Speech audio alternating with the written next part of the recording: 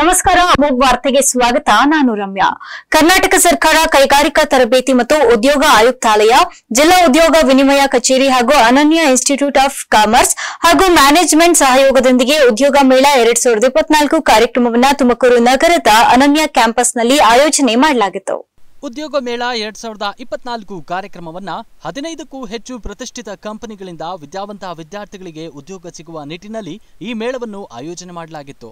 ಇದೇ ಸಂದರ್ಭದಲ್ಲಿ ಮಾತನಾಡಿದ ಅನನ್ಯ ಸಮೂಹ ಸಂಸ್ಥೆಗಳ ಉಪಾಧ್ಯಕ್ಷರಾದ ಉಮೇಶ್ ತುಮಕೂರಿನ ಸುತ್ತಮುತ್ತ ಗ್ರಾಮೀಣ ವಿದ್ಯಾರ್ಥಿಗಳು ಹೆಚ್ಚಿನ ಸಂಖ್ಯೆಯಲ್ಲಿದ್ದು ಆ ವಿದ್ಯಾರ್ಥಿಗಳಿಗೆ ಉದ್ಯೋಗ ಸಿಗುವ ನಿಟ್ಟಿನಲ್ಲಿ ನಮ್ಮ ಸಂಸ್ಥೆಯು ಸತತವಾಗಿ ಎಂಟು ವರ್ಷಗಳಿಂದ ಸಮ್ಮೇಳನವನ್ನ ಆಯೋಜನೆ ಮಾಡುತ್ತಾ ಬಂದಿದೆ.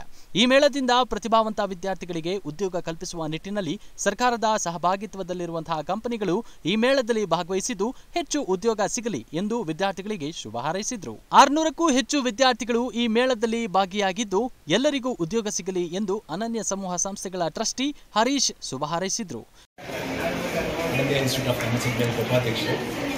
ಸುಮಾರು ಎಂಟು ವರ್ಷಗಳಿಂದ ಸತತವಾಗಿ ಕ್ಯಾಂಪಸ್ಗಳು ಮಾಡ್ಕೊಂಡು ಇದ್ದೀವಿ.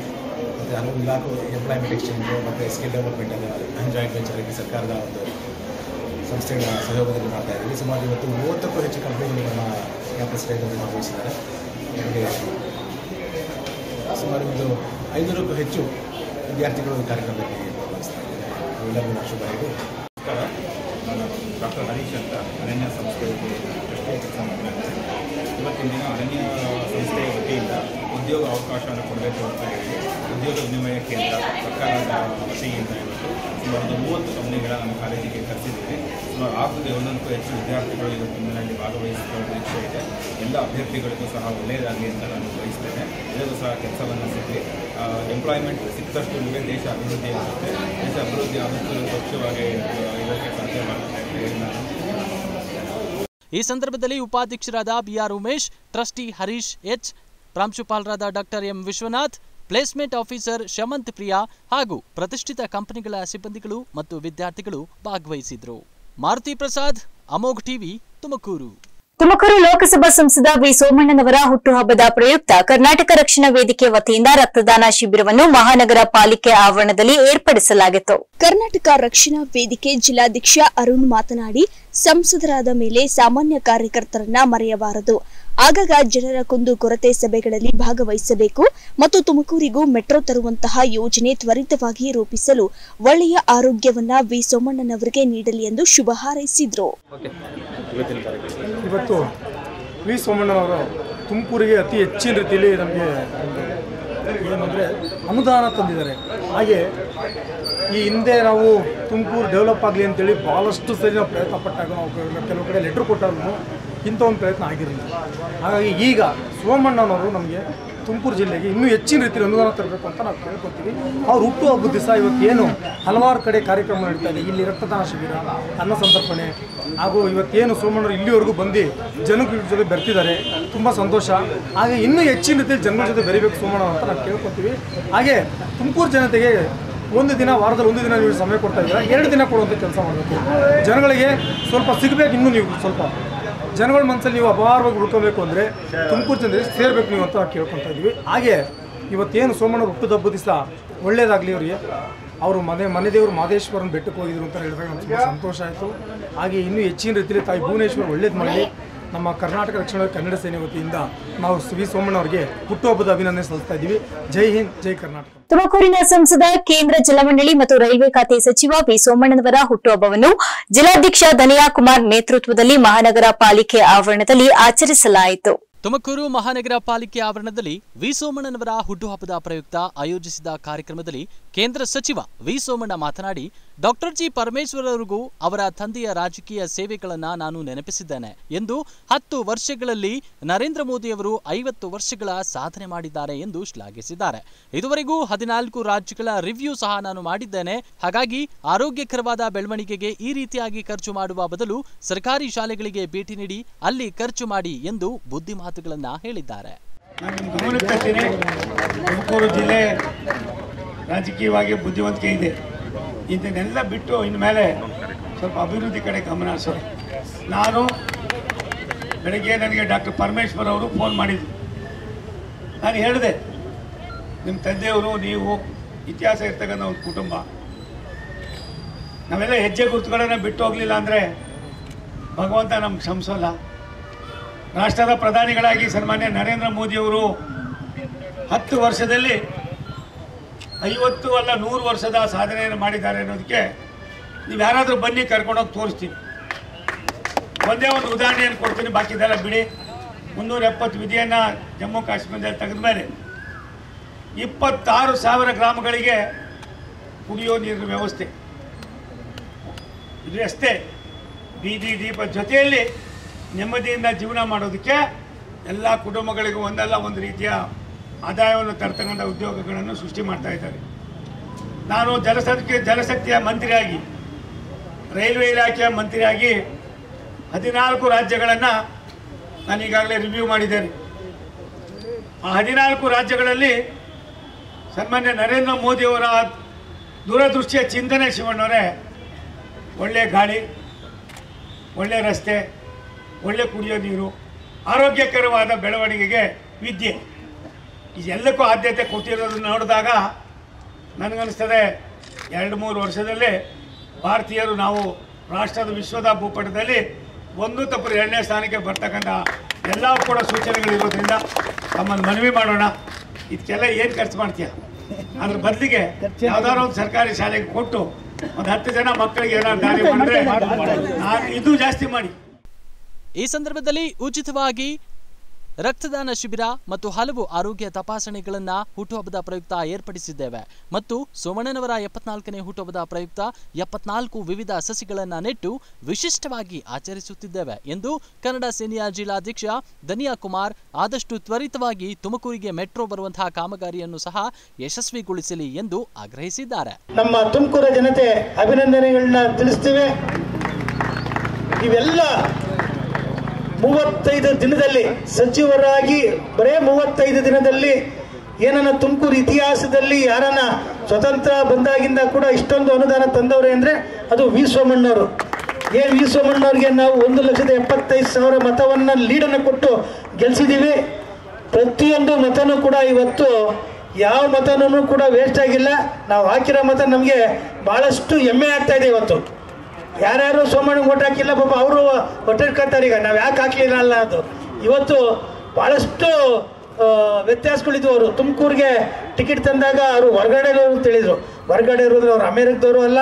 ಇತ್ತೀಚೆಗೆ ನೆಲಮಂಗಲದಲ್ಲಿ ನಡೆದ ಸಂಸದರ ಅಭಿನಂದನಾ ಸಮಾರಂಭದಲ್ಲಿ ಮದ್ಯ ಹಂಚಿದ ಆರೋಪದ ಅಡಿ ತಾಲೂಕು ಬಿಜೆಪಿ ಅಧ್ಯಕ್ಷರಾಗಿದ್ದ ಜಗದೀಶ್ ಚೌಧರಿ ಅವರನ್ನು ಪಕ್ಷದಿಂದ ಉಚ್ಚಾಟನೆ ಮಾಡಿರುವುದು ಸರಿಯಲ್ಲ ಅಂತ ಬಿಜೆಪಿ ಕಾರ್ಯದರ್ಶಿ ಸಿದ್ದೇಗೌಡ ತಿಳಿಸಿದ್ದಾರೆ. ನೆಲಮಂಗಲ ಕ್ಷೇತ್ರದಲ್ಲಿ ಬಿಜೆಪಿ ಪಕ್ಷ ಅಮರವಾಗಿ ಬೆಳೆಯುವುದಕ್ಕೆ ಜಗದೀಶ್ ಚೌಧರಿ ಅವರ ಶ್ರಮ ಕಾರಣ. ಕೊರೋನಾ ಸಂದರ್ಭದಲ್ಲಿ ಬಡವರಿಗೆ ಅವರ ಶಾಸಕರಿಗಿಂತ ಹೆಚ್ಚಿನದಾಗಿ ಸಹಾಯ ಮಾಡಿದ್ದಾರೆ. ಸುಮಾರು ಮೂವತ್ತು ವರ್ಷಗಳಿಂದ ಅವರೊಂದಿಗೆ ಒಡನಾಟ ಇದ್ದು, ಪಕ್ಷ ಸಂಘಟನೆ ಶೈಲಿ ಜನರಿಗೆ ಧನ ಸಹಾಯ ಮಾಡುವುದನ್ನ ಹತ್ತಿರದಿಂದ ನೋಡಿದ್ದೇನೆ. ಇದಕ್ಕೆ ತಾಜಾ ಉದಾಹರಣೆ ಎಂದರೆ, ನಮ್ಮ ತುಮಕೂರು ಜಿಲ್ಲೆಯ ಶಿರಾ ವಿಧಾನಸಭಾ ಕ್ಷೇತ್ರದಲ್ಲಿ ರಾಜೇಶ್ ಗೌಡರವರಿಗೆ ಟಿಕೆಟ್ ನೀಡದ ಸಂದರ್ಭದಲ್ಲಿ ಅವರ ಪರವಾಗಿ ನಿಂತು ರಾತ್ರಿ ಹಗಲು ಎನ್ನದೆ ಶ್ರಮಿಸಿದಂತಹ ರಾಜೇಶ್ ಗೌಡರನ್ನ ಶಾಸಕರನ್ನಾಗಿ ಮಾಡುವಲ್ಲಿ ಪ್ರಮುಖ ಪಾತ್ರ ವಹಿಸಿದರು. ಇಂತಹ ವ್ಯಕ್ತಿಯನ್ನ ಪಕ್ಷದ ಕಾರ್ಯವೈಖರಿಗೆ ಬಳಸಿಕೊಂಡು ಪಕ್ಷವನ್ನ ನೆಲಮಂಗಲ ಕ್ಷೇತ್ರದಲ್ಲಿ ಸದೃಢ ಮಾಡುವುದಲ್ಲದೆ ಪಕ್ಷದ ನಮ್ಮ ತುಮಕೂರು ಜಿಲ್ಲೆಗೂ ಸಹ ಅದರಲ್ಲೂ ಗ್ರಾಮಾಂತರದಲ್ಲಿ ಅತಿ ಹೆಚ್ಚು ಸಂಬಂಧಿಕರನ್ನ ಹೊಂದಿರುವಂತಹ ನಾಯಕನನ್ನ ಬಳಸಿಕೊಂಡರೆ ಅನುಕೂಲಕರವಾಗುತ್ತದೆ. ಬಿಜೆಪಿ ರಾಜ್ಯಾಧ್ಯಕ್ಷರಾದ ವಿಜೇಂದ್ರರವರು ಮರುಪರಿಶೀಲಿಸಿ ಅವರಿಗೆ ನಮ್ಮ ಮನೆಯಾದ ಬಿಜೆಪಿಯಲ್ಲಿ ಸ್ಥಾನಮಾನ ನೀಡಬೇಕೆಂದು ಆಗ್ರಹಿಸುತ್ತೇನೆ ಎಂದು ತಿಳಿಸಿದರು. ಈ ಸಂದರ್ಭದಲ್ಲಿ ಜಿಲ್ಲಾ ಸ್ಥಾಯಿ ಸಮಿತಿ ಅಧ್ಯಕ್ಷರಾದ ಗೋಳೂರು ಶಿವಕುಮಾರ್, ತಾಲೂಕು ಬಿಜೆಪಿ ಕಾರ್ಯದರ್ಶಿಯಾದ ಸಿದ್ದೇಗೌಡ ಮತ್ತಿತರರು ಹಾಜರಿದ್ದರು. ಸಿದ್ದೇಗೌಡ, ತುಮಕೂರು ಗ್ರಾಮಾಂತರದ ಎರಡು ಬಾರಿ ಕಾರ್ಯದರ್ಶಿ ಆಗಿದ್ದೆ, ಒಂದು ಬಾರಿ ಜಿಲ್ಲಾ ಕಾರ್ಯದರ್ಶಿ ಆಗಿದ್ದಂತ ಏನು, ನಮ್ಮ Nelamangala taluk B J P ಅಧ್ಯಕ್ಷ ಆದಂಥ ಜಗದೀಶ್ ಚೌಧರಿಯನ್ನ ಉಚ್ಚಾಟನೆ ಮಾಡಿರೋದು ಯಾಕೆ ಸರಿಯಲ್ಲ ಏನಂದ್ರೆ, ಒಂದು, ಈ ನೆಲಮಂಗಲ ತಾಲೂಕು ಹಂತದಲ್ಲಿ ಒಂದು ಬಿ ಜೆ ಪಿ ಪಕ್ಷ ಇವತ್ತು ಎಮ್ಮರವಾಗಿ ಬೆಳೆದೈತೆ ಅಂದ್ರೆ ಅದಕ್ಕೆ ಜಗದೀಶ್ ಚೌಧರಿ ಮತ್ತು ಅವನ ಶ್ರಮ ಕಾರಣ ಆಗಿರುತ್ತೆ, ದೊಡ್ಡದಾಗಿರುತ್ತೆ. ಅವರು ಏನಿವತ್ತು ಪಕ್ಷ ಸಂಘಟನೆಗೆ ಈ ಕರೋನಾ ಸಂದರ್ಭದಲ್ಲಿರ್ಬೋದು ಜನಗಳ ಕಷ್ಟ ಇರ್ಬೋದು, ಒಬ್ಬ ಶಾಸಕರು ಮಾಡೋದಕ್ಕಿಂತ ಹೆಚ್ಚಿನದಾಗಿ ಕಾರ್ಯ ಮಾಡಿದರೆ ಯಾಕೆ, ನಾನು ನನ್ನ ಪಕ್ಕದ ಕ್ಷೇತ್ರ ಆಗಿರೋದ್ರಿಂದ ಪ್ರತಿಯೊಂದು ಪಂಚಾಯತಿಗೂ ನನ್ನ ಸಂಬಂಧಿಕರು, ಸ್ನೇಹಿತರುಗಳು ಎಲ್ಲರೂ ಇದ್ದಾರೆ, ನನಗೆಲ್ಲ ಗೊತ್ತು. ಅದರಿಂದ ಒಂದು ದೊಡ್ಡ ಮಟ್ಟದಲ್ಲಿ ಏನು ಒಂದು ಫುಡ್ ಕಿಟ್ ಕೊಡೋದಿರ್ಬೋದು, ಆ ಸಂದರ್ಭದಲ್ಲಿ ಒಂದು ಬಾಗಿನ ಸೀರೆ ಅದು ಇದು- ಕೊಡೋದಿರ್ಬೋದು, ತುಂಬ ಕಷ್ಟದ ಸಂದರ್ಭದಲ್ಲಿ ಒಬ್ಬ ಶಾಸಕರಿಗಿಂತ ಹೆಚ್ಚಿಗೆ ಕೆಲಸ ಮಾಡಿ ಪಕ್ಷದ ಸಂಘಟನೆಗೆ ಹೆಚ್ಚಿಗೆ ಒತ್ತು ಕೊಟ್ಟಿರ್ತಾರೆ. ಅದರಿಂದ ಏನು ಈ ಅಭಿನಂದನಾ ಸಮಾರಂಭದಲ್ಲಿ ಆದಂತ ಒಂದು ಸಣ್ಣ ಅಚಾತುರ್ಯ ಅದು ಜಗದೀಶ್ ಚೌಧರಿಯಿಂದ ಆದಂತಹ ಅಚಾತುರ್ಯ ಅಲ್ಲ. ಯಾರೋ ಮಾಡಿದಂತ ಅಚಾತುರ್ಯಕ್ಕೆ ಒಬ್ಬ ಸಂಘಟನಾ ಚತುರನ್ನ ನಮ್ಮ ಪಕ್ಷ ಈ ತರ ಉಚ್ಚಾಟನೆ ಮಾಡಿದ್ದು ಸರಿಯಲ್ಲ. ಯಾಕೆಂದ್ರೆ ಪಕ್ಷಕ್ಕೆ ಯುವಕರು ಬೇಕು. ಅದೇ ರೀತಿ ಒಬ್ಬ ಒಬ್ಬ ನಿಷ್ಠಾವಂತ ಕಾರ್ಯಕರ್ತ ಅವರು, ಅದು ಜಗದೀಶ್ ಚೌಧರಿಯಿಂದ ಯಾಕೆ ಪಕ್ಷ ಸಂಘಟನೆಗೋಸ್ಕರ ಹಗಲಿರುಳು ಶ್ರಮ ಹಾಕಂತ ವ್ಯಕ್ತಿ. ಯಾಕೆ ನಾನು ಅವ್ರನ್ನ ಒಂದು ಮೂವತ್ತು ವರ್ಷದಿಂದ ನಾನು ಅವ್ರನ್ನ ಒಡನಾಟ ಇಟ್ಕೊಂಡಿದ್ದೀನಿ. ಯಾಕೆ ಚೌಧರಿ ಸಂಘಟನೆ ಹೆಂಗೆ ಅಂತ ಗೊತ್ತು?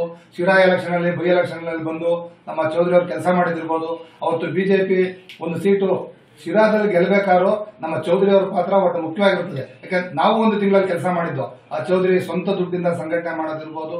ಅದರಿಂದ ನಮ್ಮ ಪಕ್ಷದವರು ಅದನ್ನ ಮತ್ತೆ ಅದನ್ನ ಮರುಪರಿಶೀಲನೆ ಮಾಡಿ ಅವರಿಗೆ ಉತ್ತಮವಾದ ಜವಾಬ್ದಾರಿ ಕೊಡಬೇಕು ಅಂತ ಈ ಮೂಲಕ ನಾನು ಒತ್ತಾಯ ಮಾಡ್ತೀನಿ.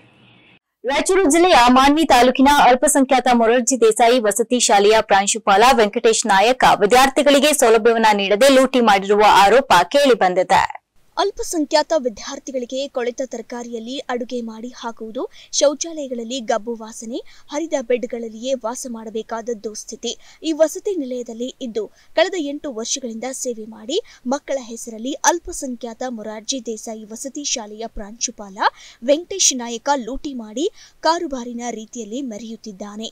ವೆಂಕಟೇಶ್ ನಾಯಕನ ಕುತಂತ್ರದಿಂದಾಗಿ ಅಮಾಯಕ ಬಡ ಮಕ್ಕಳು ಶೋಷಣೆಯ ನಡುವೆ ಜೀವ ಕಳೆದುಕೊಳ್ಳಬೇಕಾಗಿದೆ. ಈ ಬಗ್ಗೆ ಕೂಡಲೇ ಮುಖ್ಯಮಂತ್ರಿಗಳು ಕ್ರಮ ವಹಿಸುವಂತೆ ಒತ್ತಾಯಿಸಲಾಯಿತು. ಮಂಡಲದ ಅಧ್ಯಕ್ಷ. ಇವತ್ತು ನಾವು ಮಾನವಿ ಪಟ್ಟಣದ ಮುಸ್ತೂರು ರಸ್ತೆಯಲ್ಲಿರುವ ಅಲ್ಪ, ಅಲ್ಪಸಂಖ್ಯಾತರ ಮುರಾರ್ಜಿ ದೇಸಾಯಿ ವಸತಿ ಶಾಲೆಗೆ ನಮ್ಮ ಪಕ್ಷದ ಎಲ್ಲ ನಿಯೋಗ, ಎಲ್ಲ ಪದಾಧಿಕಾರಿಗಳು ಮುಖಂಡರ ಜೊತೆ ನಾವು ಆಗಮಿಸಿ ಇಲ್ಲಿ ನೋಡಿದಾಗ ಇದೊಂದು ಅವ್ಯವಸ್ಥೆಯ ಆಗರ. ವಿದ್ಯಾರ್ಥಿಗಳಿಗೆ ಯಾವುದೇ ರೀತಿಯ ವ್ಯವಸ್ಥೆಗಳು, ಅವ್ಯವಸ್ಥೆ ಇಲ್ಲಿ. ಮಲಗಲಿಕ್ಕೆ ಮಂಚಗಳು, ಆ ಮಂಚಗಳೆಲ್ಲ ತುಕ್ಕಿ ಹಿಡಿದು ಮುರಿದು, ಬೆಡ್ಶೀಟ್ಗಳು ಹರಿದು, ಅಲ್ಲೆಲ್ಲ ತಿಗಣಿಗಳು, ದ್ವಾಮಿಗಳು ಜಿರಲೆಗಳು ಇವೆಲ್ಲ ವಾಸ ಮಾಡುವಂಥ ಒಂದು ಸ್ಥಳ ಇದಾಗಿದೆ ಮಕ್ಕಳು ವಾಸ ಮಾಡುವಂಥ ಸ್ಥಳ ಇದಲ್ಲ.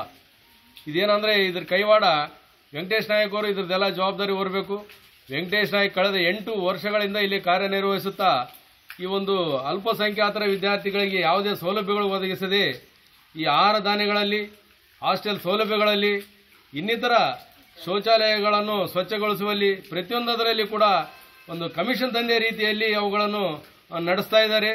ಒಂದು ಕಮಿಷನ್ ದಂಧೆಯಿಂದ ದೊಡ್ಡ ಒಂದು ಯಾವುದೋ ಒಂದು ಶಾಮೀಲ, ಯಾವುದೋ ವ್ಯಕ್ತಿಗಳು ಶಾಮೀಲಾಗಿರುವ ಶಂಕೆ ಕೂಡ ಇಲ್ಲಿದೆ. ಯಾಕಂದರೆ ವಿದ್ಯಾರ್ಥಿಗಳು ಇಲ್ಲಿ ಇನ್ನೂರ ಜನ ಇರಬೇಕಾಗಿತ್ತು. ಈಗ ನಾಲ್ಕುನೂರ ಐವತ್ತೆಂಟು ಜನ ವಿದ್ಯಾರ್ಥಿಗಳನ್ನ ಅಡ್ಮಿಷನ್ ತಗೊಂಡಿದ್ದಾರೆ ಕಳೆದ ಎರಡು ವರ್ಷಗಳಿಂದ. ಆದರೆ ನಾವು ಇಲ್ಲಿ ಗಮನಿಸಿದಾಗ ಸ್ಟ್ರೆಂತ್ ಇರೋದು ಇವತ್ತು ನೂರ ಮೂವತ್ತೊಂದು ಜನ ಮಾತ್ರ ವಿದ್ಯಾರ್ಥಿಗಳು. ಕಳೆದ ನಾಲ್ಕು ದಿನಗಳಿಂದ ಕೂಡ ಐವತ್ತು ಜನ, ಅರವತ್ತು ಜನ, ಇವತ್ತು ನೂರ ಮೂವತ್ತೊಂದು ಜನ. ವಾಸ್ತವಿಕವಾಗಿ ಇಲ್ಲಿ ಅಡ್ಮಿಷನ್ ಪಡೆದಂಥ ವಿದ್ಯಾರ್ಥಿಗಳ ಸಂಖ್ಯೆ ನಾಲ್ಕುನೂರ ಐವತ್ತೆಂಟು ಆದರೆ ಇಲ್ಲಿ ನಡೀತಕ್ಕಂಥದ್ದು ಕೇವಲ ನೂರ ಮೂವತ್ತು, ನೂರೈವತ್ತು ಜನ ವಿದ್ಯಾರ್ಥಿಗಳಿಗೆ ಮಾತ್ರ ನಡೀತಾ ಇದೆ. ಇವರು ಪ್ರತಿ ತಿಂಗಳ ವಿದ್ಯಾರ್ಥಿಗಳಿಗೆ ಡ್ರಾ ಮಾಡ್ತಾ ಇರ್ತಕ್ಕಂಥ ಒಂದು ಅಕ್ಕಿ ಇರ್ಬೋದು, ತೊಗರಿ ಇರ್ಬೋದು ಕಾಯಿಪಲ್ಯ ಇರ್ಬೋದು, ಪ್ರತಿಯೊಂದು ಕೂಡ ನಾಲ್ಕುನೂರ ಐವತ್ತೆಂಟು ವಿದ್ಯಾರ್ಥಿಗಳ ಹೆಸರಿನಲ್ಲಿ ಡ್ರಾ ಮಾಡ್ತಾ ಒಂದು ರೀತಿಯಲ್ಲಿ ಲೂಟಿ ಮಾಡ್ತಾ ಇದ್ದಾರೆ. ನಾಲ್ಕುನೂರ ಐವತ್ತೆಂಟು ವಿದ್ಯಾರ್ಥಿಗಳ ಹೆಸರಿನಲ್ಲಿ ಕೂಡ ಖರ್ಚು ಹಾಕಿ ಅದರ ಹಣ ಸರ್ಕಾರದ ಅನುದಾನ ದುರ್ಬಳಕೆ ಮಾಡಿ ಕರ್ತವ್ಯ ನಿರ್ಲಕ್ಷ್ಯ ತೋರಿ ಈ ಒಂದು ಬಡ ಶಫೀಕ್ ಹುಸೇನ್ ಅಮೋಕ್ ಟಿವಿ ಮಾನ್ವಿ. ಕೋಲಾರ ಜಿಲ್ಲೆಗೆ ಶಾಶ್ವತ ನೀರಾವರಿ ಜಾರಿ ಮಾಡುವಂತೆ ಒತ್ತಾಯಿಸಿ ನೀರಾವರಿ ಹೋರಾಟ ಸಮಿತಿ ವತಿಯಿಂದ ಪ್ರತಿಭಟನೆ ನಡೆಸಲಾಯಿತು. ಕೋಲಾರ ನಗರದ ಹೊಸ ಬಸ್ ನಿಲ್ದಾಣ ವೃತ್ತದಲ್ಲಿ ಕೋಲಾರ ಚಿಕ್ಕಬಳ್ಳಾಪುರ ಶಾಶ್ವತ ನೀರಾವರಿ ಹೋರಾಟ ಸಮಿತಿ ಅಧ್ಯಕ್ಷ ಆಂಜನೇಯ ರೆಡ್ಡಿ ನೇತೃತ್ವದಲ್ಲಿ ಪ್ರತಿಭಟನೆ ಹಮ್ಮಿಕೊಂಡಿದ್ದು, ಜಿಲ್ಲೆಯ ಶಾಸಕರ ಫೋಟೋ ಹಿಡಿದು ಅಧಿವೇಶನದಲ್ಲಿ ಜಿಲ್ಲೆಗೆ ಬೇಕಾದ ಶಾಶ್ವತ ನೀರಾವರಿ ಬಗ್ಗೆ ಶಾಸಕರು ಮಾತನಾಡಿಲ್ಲ. ಈ ಬಗ್ಗೆ ತೀವ್ರ ಸಮಾಧಾನ ಉಂಟಾಗಿದೆ ಎಂದು ಜಿಲ್ಲೆಗೆ ಶಾಶ್ವತ ನೀರಾವರಿ ಯೋಜನೆಗಳನ್ನು ಜಾರಿ ಮಾಡದ ಶಾಸಕರು ಎಂಬ ಘೋಷಣೆ ಕೂಗಿ ಆಕ್ರೋಶ ವ್ಯಕ್ತಪಡಿಸಿದರು. Yeah.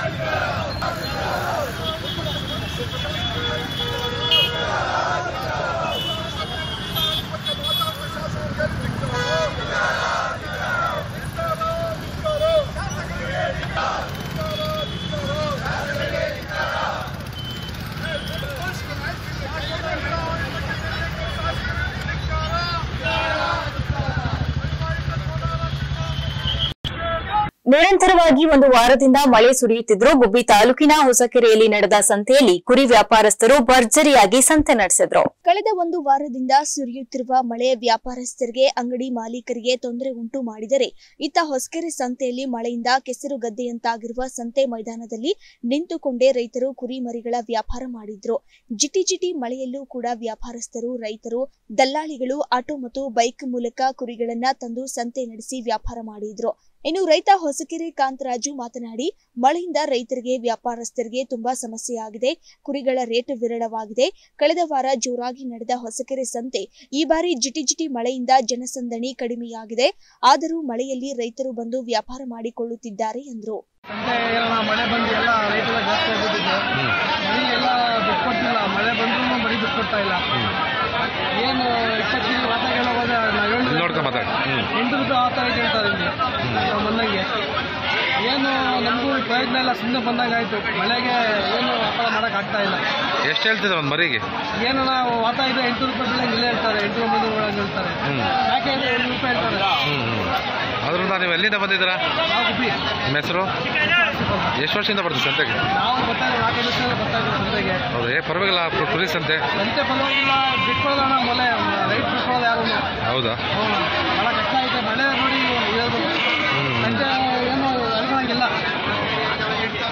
ಮೋಹನ್ ಎಂಎನ್ ಕೋಟೆ, ಅಮೋಕ್ ಟಿವಿ, ಗುಬ್ಬಿ. ಹೆರಿಗೆ ಸಂದರ್ಭದಲ್ಲಿ ಚುಚ್ಚುಮದ್ದನ್ನ ನೀಡಲು ಲಂಚ ಪಡೆದ ವೈದ್ಯನ ವಿಡಿಯೋವನ್ನ ಸೆರೆ ಹಿಡಿದು ವೈದ್ಯರ ವಿರುದ್ಧ ಶಿಸ್ತು ಕ್ರಮವನ್ನ ಜರುಗಿಸುವಂತೆ ಒತ್ತಾಯಿಸಿ ಆಸ್ಪತ್ರೆಯ ಆಡಳಿತ ಅಧಿಕಾರಿ ಡಾಕ್ಟರ್ ಸಂತೋಷ್ ಅವರಿಗೆ ಜಯ ಕರ್ನಾಟಕ ಸಂಘಟನೆಯ ಪದಾಧಿಕಾರಿಗಳು ಮನವಿಯನ್ನ ಸಲ್ಲಿಸಿದ್ದಾರೆ.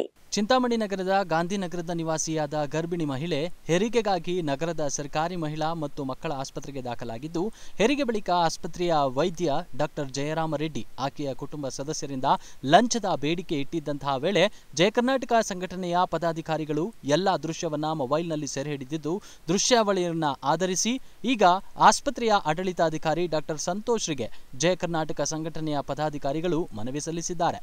ಜಯ ಕರ್ನಾಟಕ ಸಂಘಟನೆಯ ತಾಲೂಕು ಅಧ್ಯಕ್ಷ ಸತ್ಯನಾರಾಯಣ ಸಿಂಗ್ ಮಾತನಾಡಿ, ಮುರುಗಮುಲ್ಲಾ ಹೋಬಳಿ, ನಂದಿಗಾನಹಳ್ಳಿ ಗ್ರಾಮದ ನಿವಾಸಿಯಾದ ಮಂಜುಳಾ ಹಾಗೂ ಗಾಂಧಿನಗರದ ಉಜ್ಮಾ ಹೆರಿಗೆಗಾಗಿ ಮಹಿಳಾ ಮತ್ತು ಮಕ್ಕಳ ಆಸ್ಪತ್ರೆಗೆ ಬಂದಿರ್ತಾರೆ ಈ ಬಡ ಮಹಿಳೆಯರು ಹೆರಿಗೆಗೆ ಇಡೀ ದಿನ ಆಸ್ಪತ್ರೆಯಲ್ಲಿ ಕಾಯುತ್ತಿದ್ದು, ಡಾಕ್ಟರ್ ಜಯರಾಮರೆಡ್ಡಿ ಅವರು ಮಂಜುಳರಿಂದ ನಾಲ್ಕು ಸಾವಿರದ ಐನೂರು ರೂಪಾಯಿ ಲಂಚ ಮತ್ತು ಉಜ್ಮಾರಿಂದ ಸಾವಿರ ರೂಪಾಯಿ ಹಣವನ್ನ ಪಡೆದಿದ್ದಾರೆ ಎಂದು ಗಂಭೀರ ಆರೋಪ ಮಾಡಿದರು.